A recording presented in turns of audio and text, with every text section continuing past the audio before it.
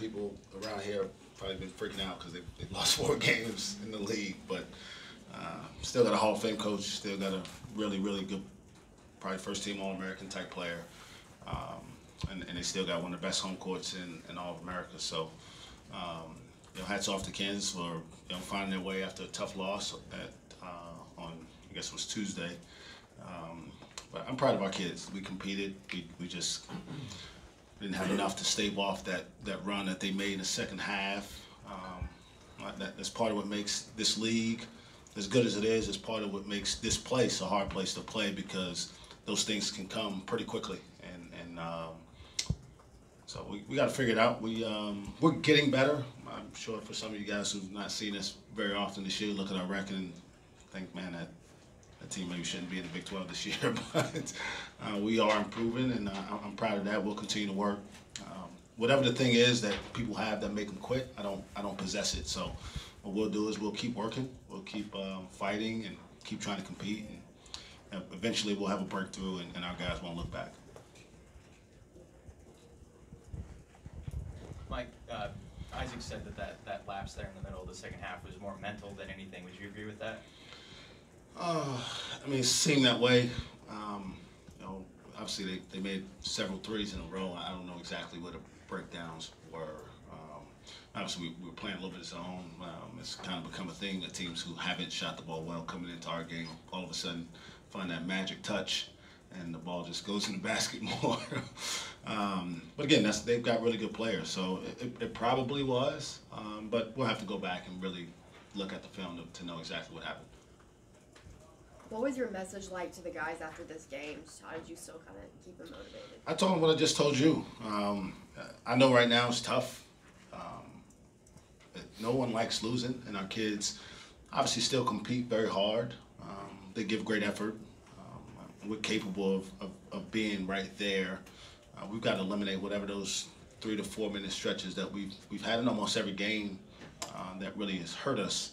Uh, but at the same time, I mean, we'll show up Wednesday to play a game against another really good Big 12 team, and they're not going to care how we feel or what happened to us today or what happened Wednesday. If we're not ready to play, we'll, we'll continue to not feel good after games. And so they need to start thinking like me. There's there's no give in. You just keep holding on to the rope. You keep standing there. Sometimes you take some some body shots and, and they hurt, but you, you try to get your swings in as, as much as you can also while you're fighting, and eventually you'll you'll get the better of the other team. What do you think it is about playing in this venue that lights a fire in Cameron McGriff? I don't know. I mean, I, I can't answer for him. I'd like to think that as a junior and a captain for us who's played a lot, doesn't take a venue to to get him going. But but but usually, um, it's pretty natural that guys play well in great environments. Um, really good players tend to do that. So uh, I'm not surprised. I don't know exactly if if it has anything to do with it, but certainly a lot of eyes on you. You know, it's it's a it's a big time place. What did you make of the uh, the role that Mitch Lightfoot played for Kansas today, and how big he was in the outcome? Uh, he's phenomenal. I mean, he did what what what you do when you put on that uniform. You, you when your opportunity comes, you, you, make sure you're ready and you do whatever it is that your team needs on that day. And today it was just bringing energy, even in the sense of not giving up a layup, right? And and the crowd fed off that, his teammates. Um, it's a really, really small thing, and it, and it, actually, in some ways, it's a negative, right? It's a foul. The other team gets to shoot free throws. It's not a dunk. it's not two points guaranteed, um, and it sends a message that you know this is what we stand for. So. Um, there's been a lot of guys like him. I know we talk about all the Hall of Famers and Wilt and Paul Pierce. There's been a lot of guys like Mitch Lightfoot come here and help those teams uh, hang those banners as well. Obviously, Mike, you three guys who have been here before, but how, how do you feel like Isaac and Yor handled today? it's funny. Uh, I talked to the TV guys before the game, and they, they asked me about Yor coming home and playing here, and I told them I'm going to throw him the ball the first possession of the game, and I think he's probably going to kick it into the stands. And he didn't quite kick it into the stands, but he looked pretty nervous out there to start. Uh, but he settled in. Um, you know, again, I'm watching his evolution, and I feel really good about the future with those two guys.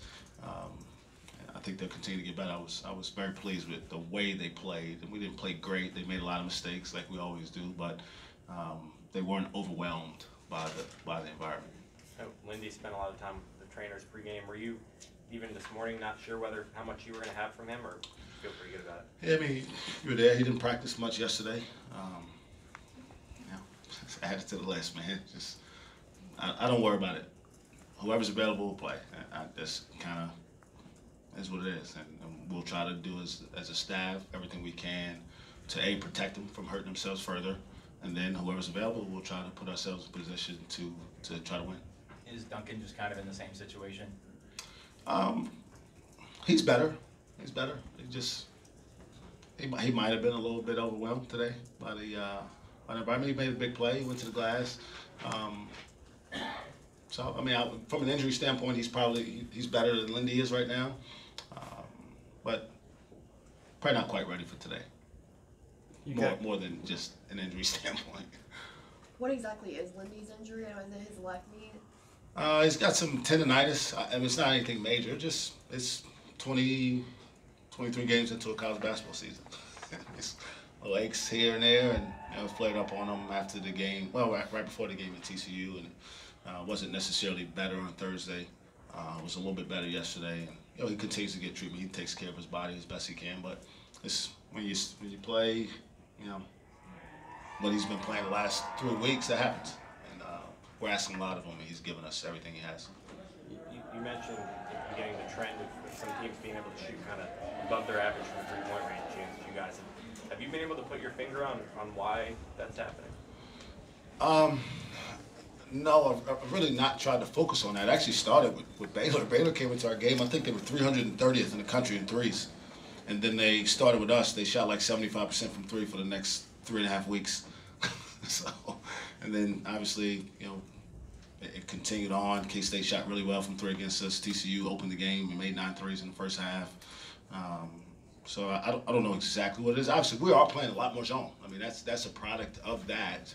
Uh, so we're not pressuring and taking away those shots as much, but we got to do a better job of contesting uh, and getting there earlier on the catch. you guys were close the other night at TCU. You went into the half tied here. Is it getting harder to keep your guys' heads up, or can they see that you guys are getting better? I don't buy into that. With competitors, there's no such thing. If, if their heads are down and they don't feel like they can play, I would advise them not to show up to practice. In our program, when you show up, you're going to do your job at a high level every single day. And you're going to compete to try to win because it's not about you. It's not about how you feel. It's not about how I feel. We don't represent our, just ourselves. We represent a lot of people out there who expect to see a certain level of effort. Um, and eventually they expect us to have win some games too. But for right now, uh, the effort must continue to be there.